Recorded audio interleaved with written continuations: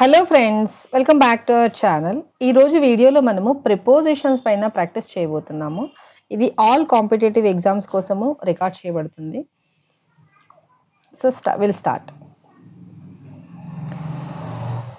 the train starts dash five o'clock అంటే ఒక particular time చెప్పారు. ఈ టైంలో ట్రైన్ స్టార్ట్ అవుతుంది అని చెప్తున్నారు. సో పర్టికులర్ టైం ఎప్పుడైతే చెప్పారో అప్పుడు మనము ఎట్ అనేసి యూస్ చేయాల్సి ఉంటుంది. At five o'clock the train starts at five o'clock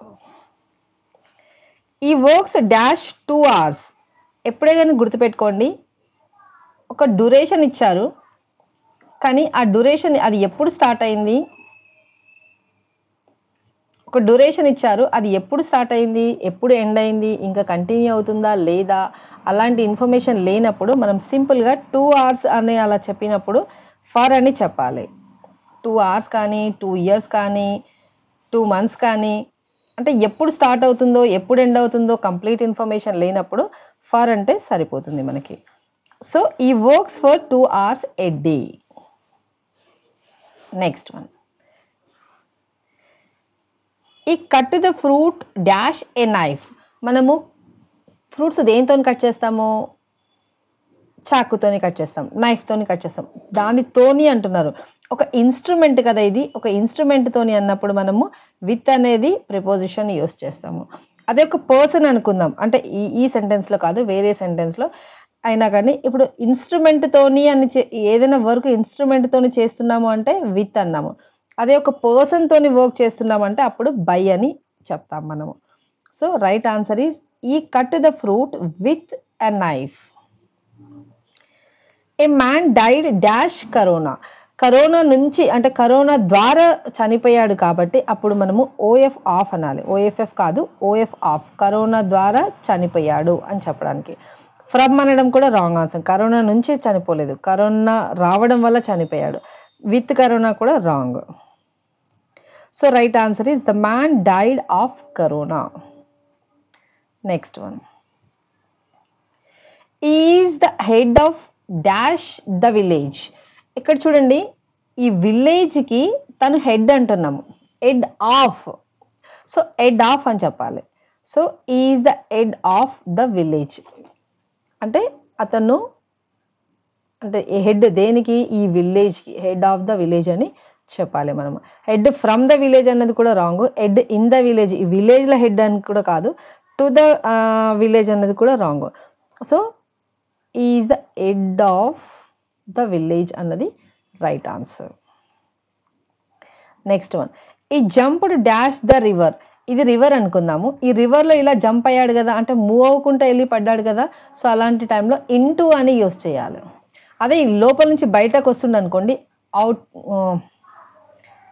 out of అనాలి.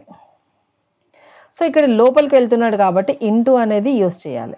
So he jumped into the river I travelled dash train ఇక్కడ చూడండి ఐ ట్రావెల్డ్ డాష్ ట్రైన్ నేను ట్రైన్లో జర్నీ చేశాను అంటే బై ట్రైన్ అని అంటాము. ట్రైన్లో ఉన్నాను అంటే ఇప్పుడు నేను ట్రైన్లో వెళ్తున్నాను అని చెప్తున్నప్పుడు ఇన్ ట్రైన్ అని అంటాము. సో ఇక్కడ మనము ఇన్ ఇప్పుడు ఆప్షన్ని మనము నేను ట్రైన్లో ఉన్నాను అని చెప్పాలి అనుకుంటే ఇన్ ట్రైన్ అంటాము. I travelled sorry I travelled by train is the right answer నేను ట్రైన్ నేను ట్రైన్లో జర్నీ చేశాను అనేసి. కానీ మీరు జర్నీలో ఉన్నప్పుడు మీకు ఒక కాల్ వచ్చింది అనుకోండి. వేర్ ఆర్ యూ అంటే ఐఎమ్ ఆన్ ద ట్రైన్ అంటారు.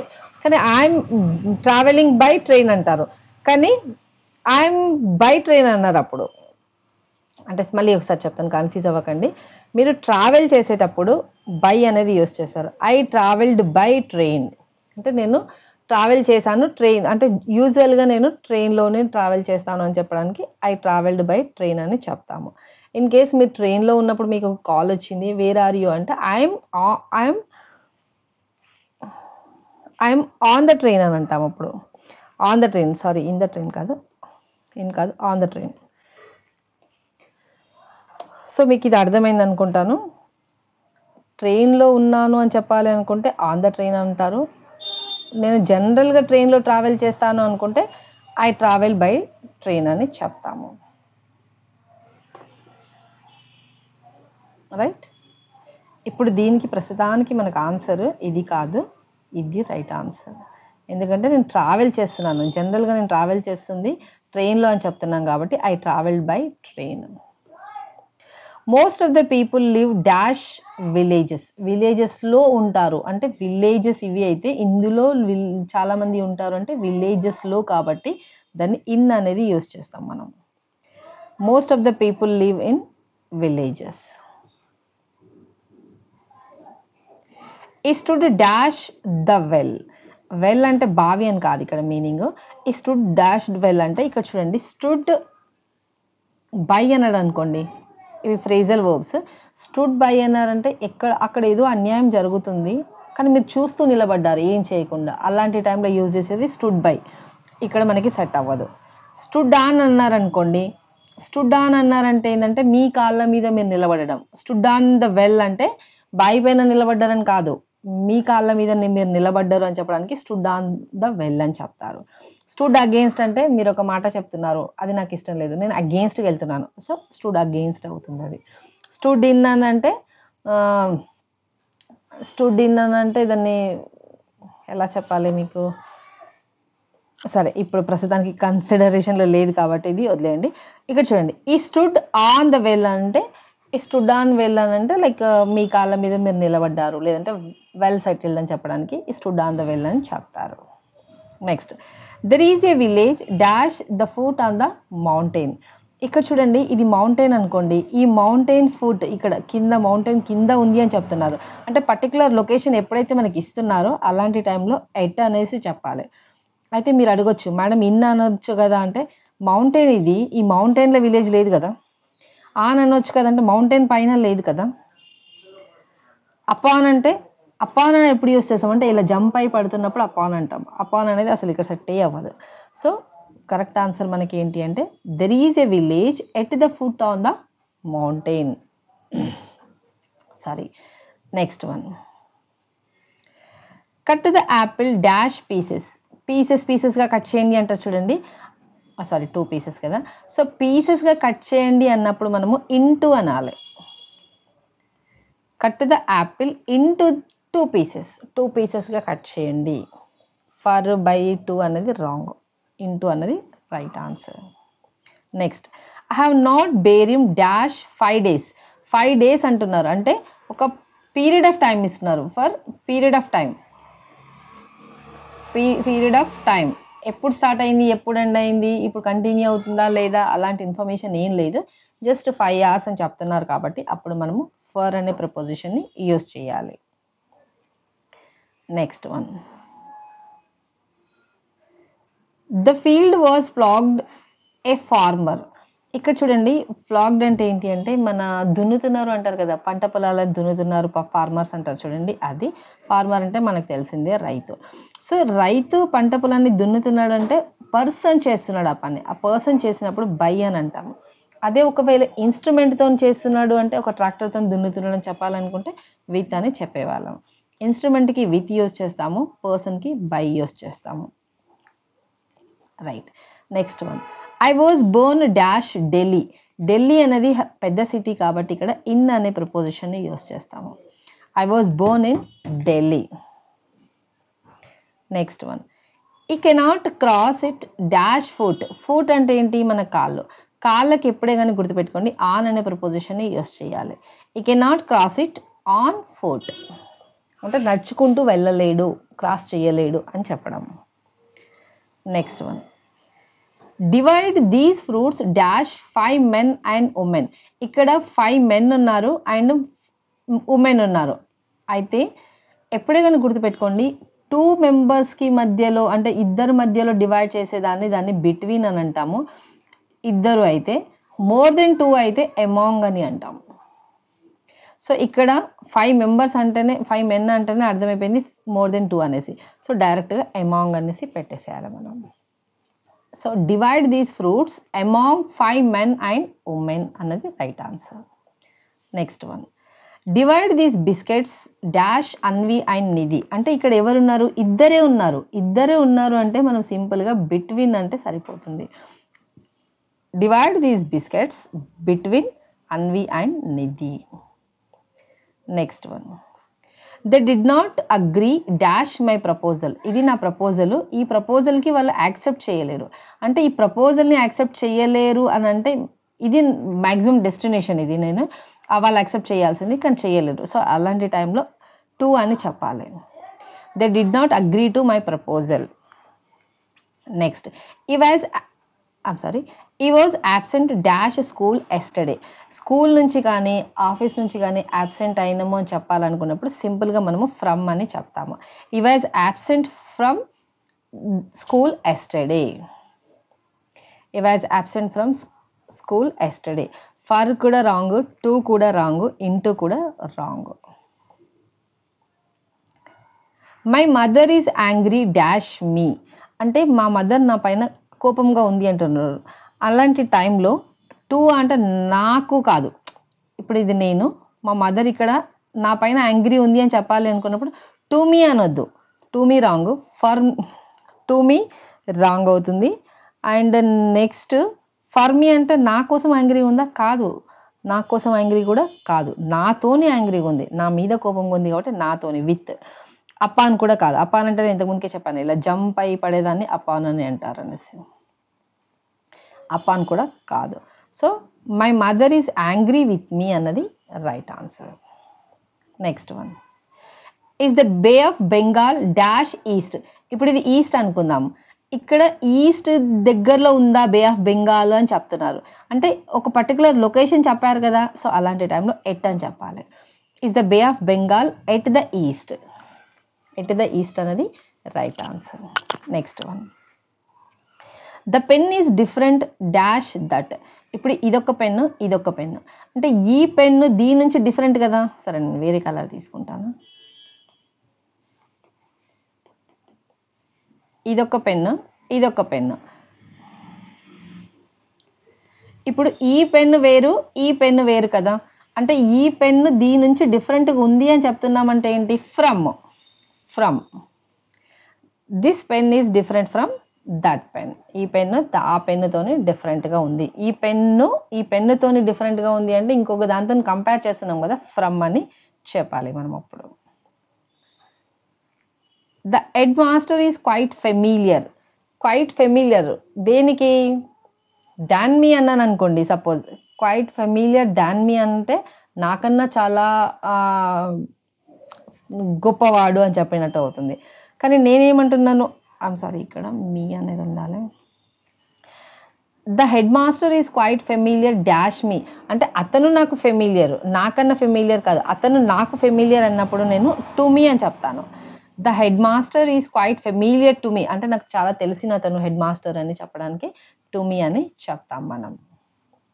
This article is made dash gold ఇది గోల్డ్ తోని చేసిరు అంటారు. అప్పుడు గోల్డ్తో తోని చేసిరు అన్నప్పుడు మేడ్ ఆఫ్ అని చెప్పాలి.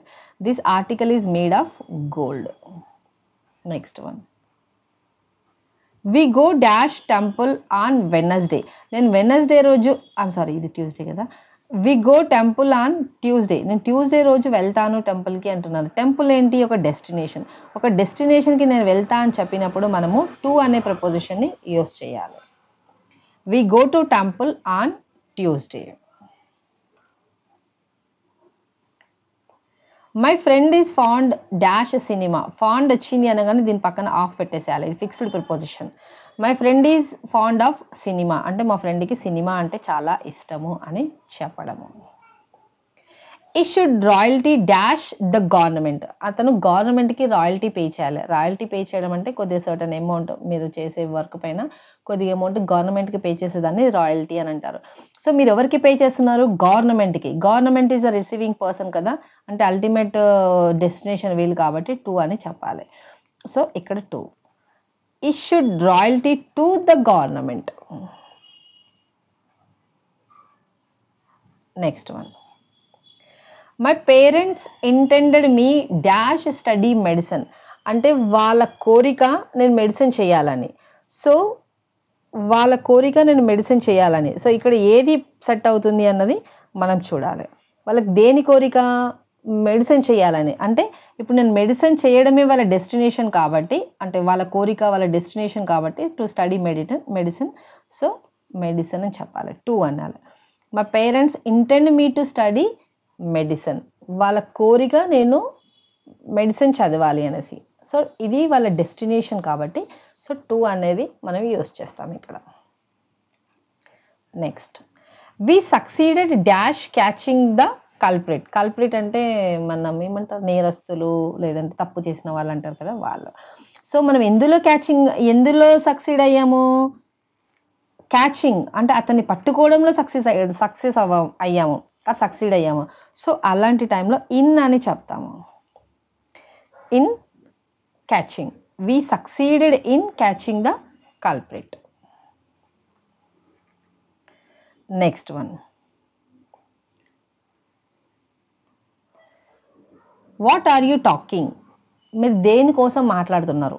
What are you talking to అన్నది రాంగ్ ఫర్ అనేది కూడా రాంగ్ విత్ అన్నది కూడా రాంగ్. అబౌట్ అన్నది right answer what are you talking about is the right one the tiger sprang dash the deer ఇది డీర్ అనుకోండి ఇది టైగరు ఇది ఏం చేస్తుంది? ఇలా వచ్చేసి ఇలా జంప్ అయి పడుతుంది. అంటే ఎగురుకుంటూ పోయి పడుతుంది కదా అపాన్ పైన పోయి పడుతుంది దానిపైన. సో అపాన్ అని చెప్పాలి. The tiger sprang upon the deer next one I have got houses dash lands ఇవి నా హౌజెస్ ఇవి నా ల్యాండ్స్ అంటే నాకు ల్యాండ్స్తో పాటు హౌజెస్తో పాటు ల్యాండ్ కూడా ఉంది. సో పాటు అంటున్నారంటే హౌజ్ ఉంది ప్లస్ ల్యాండ్ కూడా ఉంది. సో అలాంటి టైంలో మనము బిసైడ్స్ అనాలి. I have a two wheeler besides four wheeler.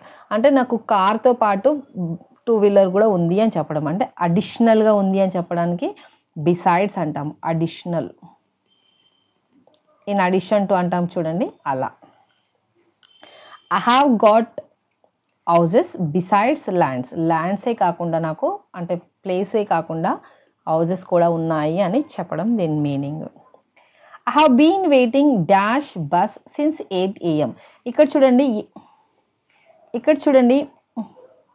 Eight AM ఇది. ఎయిట్ ఏఎంకి మీరు స్టార్ట్ అయ్యారు వెయిట్ చేయడము. ఇంకా ఇప్పుడు మనం ఇక్కడ ఉన్నాము. ఇంకా కూడా మీరు వెయిట్ చేస్తున్నారు. అంటే పాస్ట్లో ఎక్కడో యాక్షన్ స్టార్ట్ అయింది. ఇంకా కరెంట్లీ కూడా మీరు ఇంకా యాక్షన్ కంటిన్యూ చేస్తున్నారు.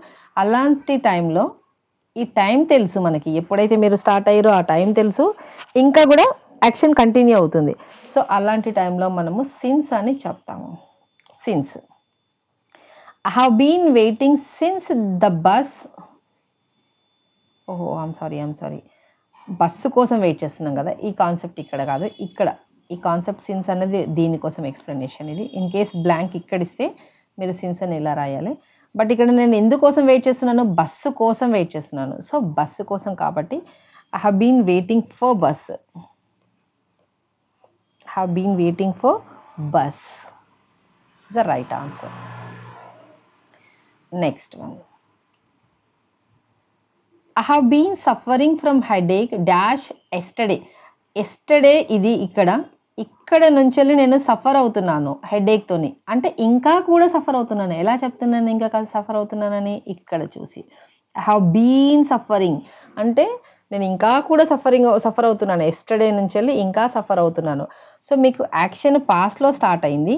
ఇంకా కూడా కంటిన్యూ అవుతుంది. సో అలాంటి టైంలో ఇక్కడ మనము సిన్స్ అనేది యూస్ చేయాలి. ఇక్కడ మనం చెప్పుకున్నామా? ఇది. ఇది ఇక్కడ కూడా సెట్ అవుతుంది. క్లియర్ కదా? Next we move on I have been studying in this college dash two years two years నుంచి నేను చదువుతున్నాను. కానీ ఎప్పుడు స్టార్ట్ అయింది? ఎప్పుడు ఎండ్ అయింది? ఇంకా నేను అదే కాలేజీలో ఉన్నానా? లేదా ఏం ఇన్ఫర్మేషన్ లేదు కాబట్టి సింపుల్గా ఫర్ అంటే సరిపోతుంది.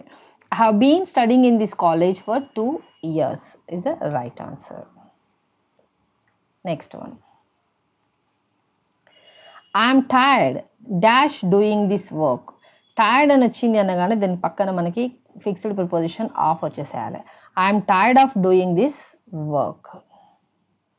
Guys actually నేను ఫిక్స్డ్ ప్రిపోజిషన్స్ పైన కూడా ఒక వీడియో అప్లోడ్ చేయబోతున్నాను రీసెంట్ అంటే నేను షార్ట్ పీరియడ్లో నేను అప్లోడ్ చేస్తాను. కొన్ని మీకు చూడగానే అర్థమైపోతాయి అనమాట ఈ ఈ వర్డ్ తర్వాత కంపల్సరీ ఇప్పుడు చూడండి ఇక్కడ టైర్డ్ ఆఫ్ అనేసి లేదంటే ఫౌండ్ ఆఫ్ అనేసి సారీ ఫాండ్ ఎఫ్ అండి ఫాండ్ ఫాండ్ ఆఫ్ అనేసి. ఇట్లా కొన్ని ఫిక్స్డ్ ప్రిపోజిషన్స్ ఉంటాయి. అవి మనకి ఒక ఒక టూ త్రీ టైమ్స్ మనం వినడమో లేదంటే చదవడమో చేస్తే మనకు చూడగానే ఇంకా ఇవన్నిట్లో అనాలిసిస్లోకి వెళ్ళనక్కర్లేదు. దీని తర్వాత ఫిక్స్డ్గా వెళ్ళిపోతుంది అనేసి మనకి ఐడియా వస్తుంది. అది నేను విదిన్ షార్ట్ పీరియడ్లో నేను అప్లోడ్ చేస్తాను. బట్ నేను మీ సైడ్ నుంచి ఎక్స్పెక్ట్ చేసేది ఏంటంటే మీరు ఛానల్ని సబ్స్క్రైబ్ చేసుకోవడము అండ్ మీ ఫ్రెండ్స్తో షేర్ చేయడము మన లాంగ్ వీడియోస్ని కూడా చూడడము అలా చేయడం వల్ల మన ఛానల్ గ్రో అవుతుంది. ఎట్ ది సేమ్ టైం మీకు కూడా నాలెడ్జ్ మన తెలుగు లాంగ్వేజ్లో నాలెడ్జ్ అవైలబుల్ అవుతుంది. అంటే మీకు నేర్చుకోవడానికి మన తెలుగు లాంగ్వేజ్లో ఎక్స్ప్లెనేషన్ అందరికీ అంటే అందరికీ నాలెడ్జ్ షేర్ అవుతుందని నేను ఎక్స్పెక్ట్ చేస్తున్నాను. రైట్ ఇక్కడ ఏం చెప్తున్నా నేను? I'm tired of doing work I'm tired of doing this job or work next gold is found dash the earth మనకి గోల్డ్ ఎక్కడ దొరుకుతుంది? భూమిలోనే కదా. సో ఇన్ ఇన్ అని చెప్పాలి. He lived dash Germany Germany country కాబట్టి ఇక్కడ మనం ఇన్ అనే ప్రపోజిషన్ యూస్ చేస్తాం. He lived in Germany next next guys ఇదేంటి అంటే ఇది మన ఛానల్ మన ఛానల్లో మీకు తెలిసిందే. మా మా ఛానల్ ఏంటి? Competitive world Telugu channel name the essential guide to English అంటే అందరికీ ఇది. కాంపిటేటివ్ ఎగ్జామ్స్ రాసే వాళ్ళ ప్రతి ఒక్కరికి ఎట్ ది సేమ్ టైం మీరు ఒకవేళ కాంపిటేటివ్ ఎగ్జామ్స్ రాయకుంటే మీకు అప్లికేబుల్ కాదా అంటే అది కాదు అని నేను చెప్పను. మీరు కూడా నాలెడ్జ్ని అప్గ్రేడ్ చేసుకోవాలి అనుకుంటే మీ స్కిల్స్ని నాలెడ్జ్ని అప్గ్రేడ్ చేసుకోవాలనుకుంటే ఈ ఛానల్ మీకు కూడా యూస్ అవుతుంది. అండ్ కాంపిటేటివ్ ఎగ్జామ్స్ రాసే వాళ్ళకి ఆబ్వియస్లీ ఇది యూస్ అవుతుంది. సో నేను మీ సైడ్ నుంచి ఎక్స్పెక్ట్ చేసేది ఏంటంటే లైక్ చేయడం మన ఛానల్ని షేర్ చేయడము అండ్ ఇఫ్ పాసిబుల్ కమెంట్ చేయడము అండ్ సబ్స్క్రైబ్ చేసుకోవడము. సో ఇవన్నీ చేయడం వల్ల మన ఛానల్ గ్రో అవుతుంది. ఎట్ ది సేమ్ టైం మనం నాలెడ్జ్ చాలామందికి స్ప్రెడ్ చేసిన వాళ్ళం అవుతాము. యాక్చువల్లీ ఏంటంటే మీరు అనొచ్చు మేడం కాంపిటేటివ్ ఎగ్జామ్స్కి చాలా ఛానల్స్ ఉన్నాయి. మీరు కొత్తగా ఇప్పుడు వచ్చి మాకేం చెప్తున్నారు? అనేసి. బట్ ఎస్ దట్స్ ట్రూ నేను యాక్సెప్ట్ చేస్తాను. కానీ ఇక్కడ మనం మాట్లాడుతుంది ఏంటంటే మన తెలుగు లాంగ్వేజ్లో మనము English to Telugu Telugu to English. అంటే మనం అందరికీ ఇంగ్లీష్ ఫ్లూయెంట్గా రాకపోవచ్చు కదా. అందరూ కార్పొరేట్ స్కూళ్ళకి కార్పొరేట్ పెద్ద పెద్ద స్కూళ్ళకి రా వచ్చిన వాళ్ళు కూడా కాకపోవచ్చు కదా. సో వాళ్ళకి అయినా అట్లీస్ట్ వాళ్ళకన్నా మన నాలెడ్జ్ ఇచ్చి మన నాలెడ్జ్ని షేర్ చేసుకోవడం చేసుకోవడం వల్ల వాళ్ళకి బెనిఫిట్ అవుతుంది మన ఛానల్ గ్రో అవుతుంది. దట్స్ వాట్ నేను ఎక్స్పెక్ట్ చేస్తున్నాను. Don't take me anything wrong okay నేను ఎక్స్ ఎక్స్పెక్ట్ చేస్తున్నాను మీరు చాలామందికి షేర్ చేస్తారని మీరు ఛానల్ని సబ్స్క్రైబ్ చేసుకుంటారని. Okay friends done will move on right next question next question ఏంటంటే alcohol is injurious dash health alcohol ఏంటి? హెల్త్కి గుడ్డా? చెప్పండి. ఇంజూరియసే కదా? ఆల్కహాల్ ఇంజూరియస్కి హెల్త్ అయినప్పుడు మనము దీనికి ఎలాంటి ప్రపోజిషన్ యూస్ చేయాలి? ఇది ఆల్కహాల్ ఇది మనం మనం మన హెల్త్. సో మన హెల్త్కి అది ఇంజూరియస్ మన డెస్టినేషన్ పాయింట్ ఏంది? మన హెల్త్. హెల్త్కి ఇంజూరియస్ కాబట్టి టూ అని చెప్పాలి. Alcohol is injurious to health. Alcohol is injurious to health. Next one. The bird is flying dash the sky. ఆకాశంలో పక్షులు ఎగురుతున్నాయి అంటాం కదా మనము తెలుగులో మంచిగా చెప్పాలంటే. సో అప్పుడు in the sky the bird is flying in the sky మనం తెలుగులో అలానే అంటాం కదా అది కరెక్ట్గా ఇక్కడ సెట్ అవుతుంది. The bird is flying in the sky ఆకాశంలో ఆర్ ఆకాశంలో మన పక్షులు ఎగురుతున్నాయి. Right answer right next one the river flows dash the bridge ఇది బ్రిడ్జ్ అనుకుంది. ఈ బ్రిడ్జ్ ఎందుకు వేస్తారు పైన ట్రైన్ వెళ్తుంది ఎగ్జాంపుల్ కింద బస్సెస్ వెళ్తున్నాయి. సో ఆబ్వియస్లీ వాటర్ కింద నుంచే వెళ్తుంది పై నుంచి వెళ్ళదు కదా మరీ ఎక్కువ వాటర్ ఫ్లో అయితే తప్పించి. సో అలాంటి టైంలో మనం చెప్పాల్సింది అండర్ అని చెప్పాలి. The river flows under the bridge sorry next one the sky is dash our head ఇక్కడ మనం ఉన్నాము స్కై మన పైన ఉంది కదా పైన ఉందంటే ఇప్పుడు ఏం చెప్పాలి? ఆన్ అనొద్దు మనం టచ్ చేయట్లేదు. ఆన్ అనొచ్చు కదా మేడం అని మీరు అనొచ్చు. కానీ మనం స్కైన్ టచ్ చేస్తున్నామా? లేదు కదా. టచ్ చేస్తే ఆన్ అనే ప్రిపోజిషన్ యూజ్ చేస్తాం. సో టచ్ అవ్వట్లేదు కాబట్టి ఎబో అని చెప్పాలి. The sky is above our head yes good question believe dash God believe వచ్చినప్పుడు గాడ్ని బిలీవ్ ఇన్ గాడ్ అనాలా? బిలీవ్ ఆన్ గాడ్ అనాలా అన్నది మనకి ఇక్కడ రెండు కన్ఫ్యూజింగ్ అవుతాయి. మిగతా అయితే కాదని మనకు తెలుసు. ఆఫ్ కాదని తెలుసు షూర్గా ఫార్ కాదని తెలుసు. కానీ మనం కన్ఫ్యూజ్ అయ్యేది బిలీవ్ ఇన్ గాడా బిలీవ్ ఆన్ గాడా అన్నది కన్ఫ్యూజ్ అవుతాం మనం. సో బిలీవ్కి ఇన్ అనేది వస్తుంది. అంటే మీరు స్ట్రాంగ్గా ఒకదాన్ని నమ్మాలి అనుకున్నప్పుడు బిలీవ్ ఇన్ ఇది కూడా మన ఫిక్స్డ్ ప్రిపోజిషన్లో వస్తుంది. Believe in God not on God believe in God is a right answer next one yesterday I went to dash zoo zoo ఏంటి? ఇది జూ జూకి మనం వెళ్ళాలి అంటే ఇది ఒక డెస్టినేషన్ ఎప్పుడైతే మనం డెస్టినేషన్ రీచ్ అవ్వాలి అనుకుంటున్నామో అప్పుడు దాన్ని టూ అని చెప్పాలి. So yesterday I went to the zoo to అనేది right answer next I'm afraid dash dogs afraid వచ్చిందంటే కూడా ఇక్కడ ఆఫ్ అని. I'm afraid of actually I'm afraid of ఇక్కడ ఆప్షన్స్లో నేను టైప్ మిస్టేక్ చేశాను typing mistake I'm afraid of dogs ఇది కూడా మనకి ఫిక్స్డ్ ప్రిపోజిషన్లో వస్తుంది. Next I'm tired dash talking నేను మాట్లాడి మాట్లాడి టైర్డ్ అయిపోయాను. దేంతో మాట్లాడి. Of I'm tired of I'm tired of talking Nidhi sat dash a chair chair పైన కూర్చుంది అంటున్నారు. చైర్ పైన కూర్చుంది అన్నప్పుడు ఏంటి? ఇది చైర్ అనుకుందాం.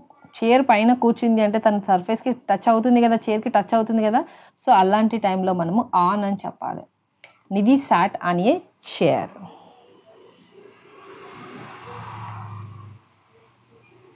the house was painted dash Kranthi house painting చేశారు. ఎవరు? పర్సన్ చేశారు. పర్సన్ చేసినప్పుడు బై అని చెప్పాలి. అదే ఇన్స్ట్రుమెంట్ అయితే విత్ అని చెప్పాలి. By.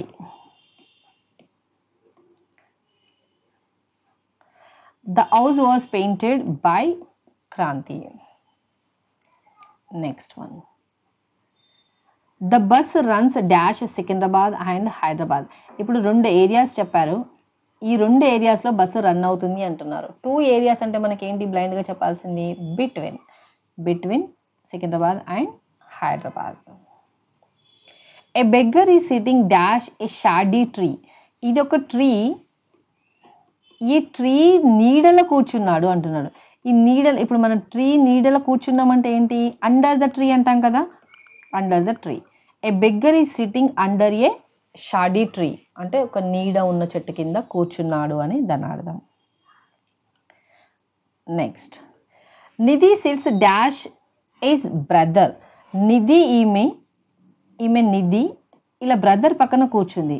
అంటే పక్కన కూర్చుంది అన్నప్పుడు మనము బిసైడ్ అని అంటాం. బిసైడ్స్ అనకండి బిసైడ్స్ అంటే ఇంతకుముందుకే చెప్పాను నేను అడిషనల్ ఇన్ఫర్మేషన్ అనేసి. సో బిసైడ్ బిసైడ్ అన్నది రైట్ ఆన్సర్ బిసైడ్స్ అన్నది కాదు beside so Nidhi sits beside his brother they will join the duty dash tomorrow రేపు వాళ్ళు వాళ్ళ డ్యూటీలో జాయిన్ అవుతారు అంటున్నారు. సో రేపు వాళ్ళు వాళ్ళ డ్యూటీలో జాయిన్ అవుతున్నారంటే ఏం చెప్పాలి? సిన్స్ అంటామా? సిన్స్ అందామే అనుకుందాం ఒక సెకండ్. సిన్స్ అంటే నేను ఏం చెప్పాను? ఇక్కడెక్కడో స్టార్ట్ అయిన వరకు ఇక్కడ కంటిన్యూ అవుతుంది. అంటే సిన్స్ ఏంటి? మ్యూ- ముందుకు వెళ్ళడానికి ఇక్కడెక్కడో స్టార్ట్ అయింది కానీ మన వర్క్ ఇంకా స్టార్ట్ అవ్వలేదు. టుమారో స్టార్ట్ అవుతుంది. ఇది పాస్ట్లో స్టార్ట్ అయ్యి కంటిన్యూ చేస్తున్నప్పుడు సిన్స్ అన్నాము. So since wrong. ఫర్ అంటే ఒక డ్యూరేషన్ ఆఫ్ టైం తెలుసు మనకి. టూ అవర్స్ త్రీ అవర్స్ అలాంటి టైంలో. సో ఇది కూడా కాదు. ఇన్ అంటే ఇన్ కూడా కాదు. ఫ్రమ్ అన్నది right answer from tomorrow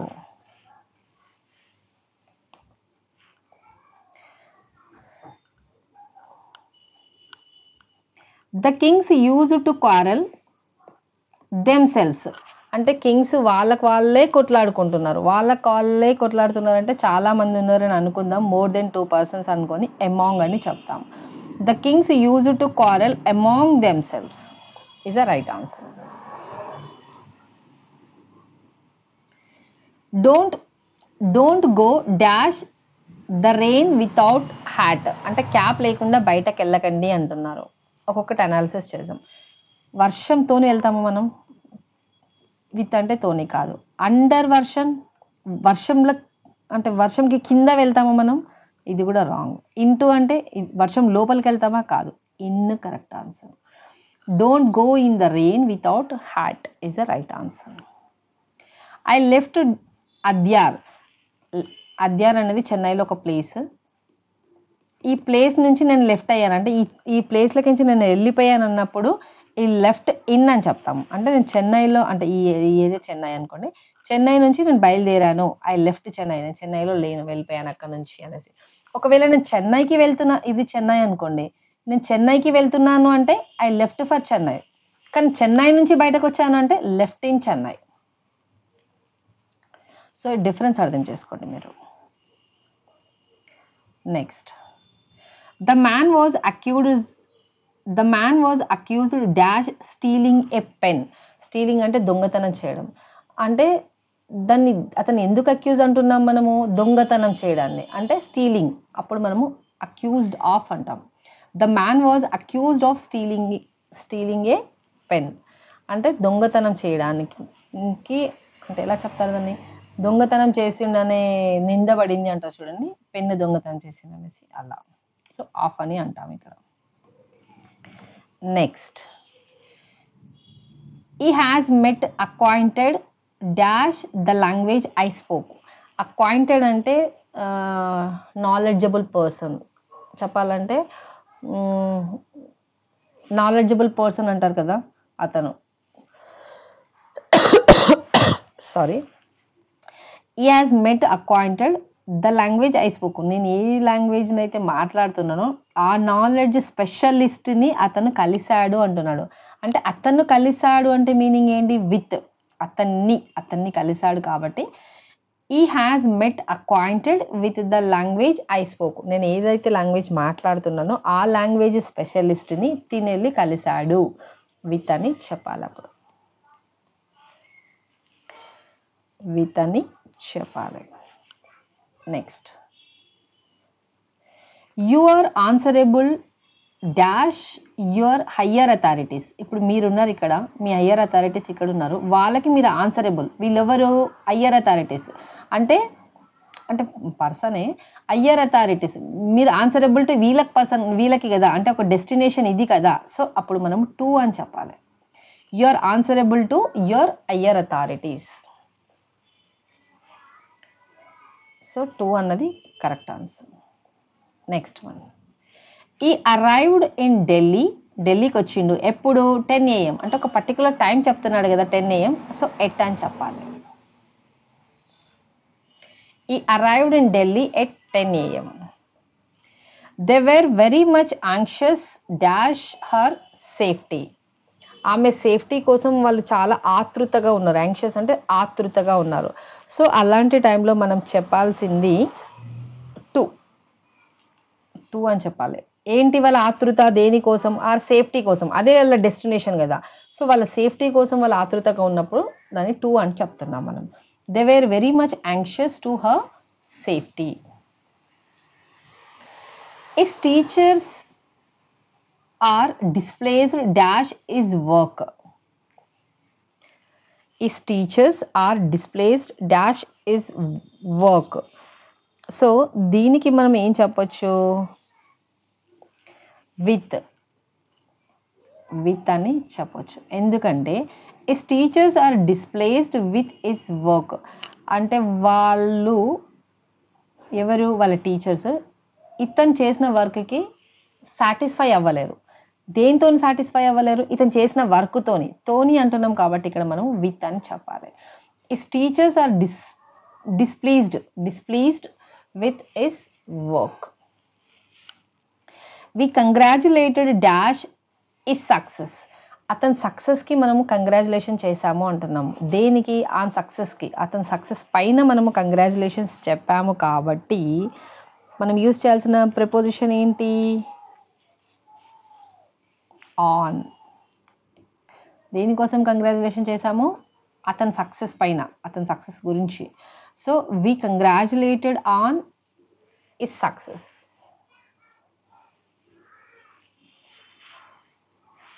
next is capable dash doing hard work capable వచ్చింది అంటే ఇక్కడ కూడా మనము ఫిక్స్డ్ ప్రిపోజిషన్ని డైరెక్ట్గా రాసేయచ్చు. Any guess fixed preposition is capable in doing hard work దేనికి కేపబుల్ అతను? హార్డ్ వర్క్ చేయడంలో capable is capable in doing hard work. is capable in doing hard work.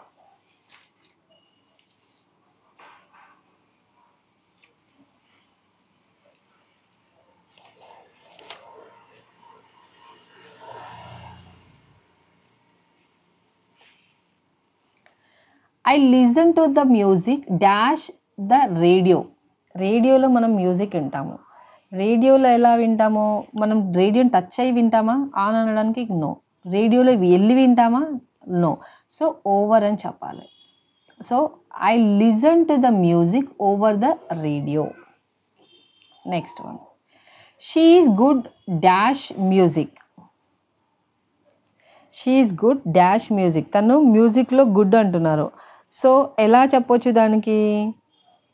She is good in music అంటే మ్యూజిక్లో తను good అంటే చాలా బాగా perform చేస్తుంది అని చెప్పడం. She's good in music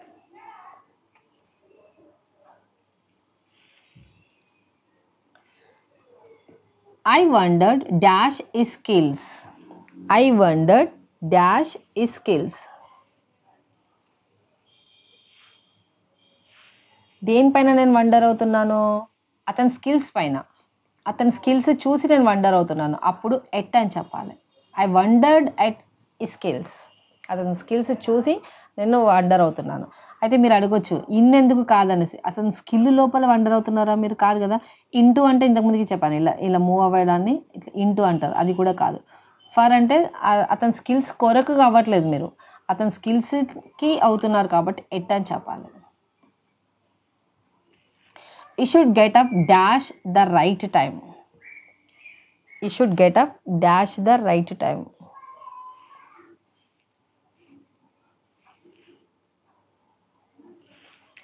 Right time కోసం చెప్తున్నాను. పర్టికులర్ టైం వచ్చినప్పుడు మనం ఏం యూజ్ చేస్తాము? పర్టికులర్ రైట్ టైం అంటే ఒక పర్టికులర్ టైం సో అలాంటి టైంలో మనము ఎట్ అనేది యూజ్ చేస్తాము. You should get up at the right time you should get up sentence question repeat అయింది. Is a lawyer dash profession అంటారు కదా మీరు చాలా మంది వినుంటారు. Is a lawyer dash profession is a lawyer dash profession is a lawyer by profession అంటే తను ప్రొఫెషనల్గా ఏం చేస్తారంటే లాయర్ అని చెప్తున్నారు. ఈజ్ ఏ ప్రొఫెషనల్ లాయర్ అంటే అతని ప్రొఫెషన్ అతను చేసే job or profession I can say lawyer అనేసి.